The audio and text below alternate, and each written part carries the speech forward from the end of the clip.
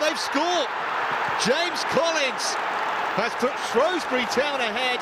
It was a free header from virtually point-blank range.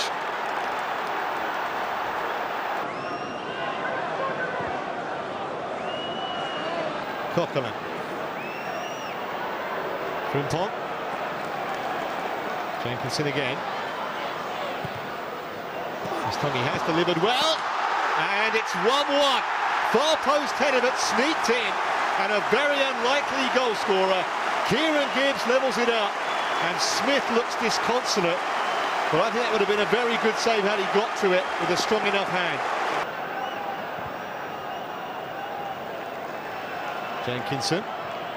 So that's where I think Kieran Gibbs has missed an opportunity. He can cross the ball. Arsenal are going to win balls in the box today. Chamakh's proved that. Frimpong. And if Shrewsbury are going to defend narrowly, as they are at the moment, every time it goes to a fullback, they can get crosses in. Oxlade Chamberlain, oh yes! It was rather through Ben Smith, but never mind about that, that was fiercely struck, and Arsenal have the lead.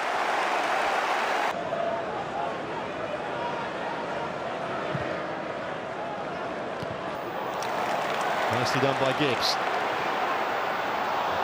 Find the pass to match him. They come back to him though. Oxlade Chamberlain. Asia Cup trying to get involved early on. He still got it. Yossi Benayoun puts Arsenal in round four.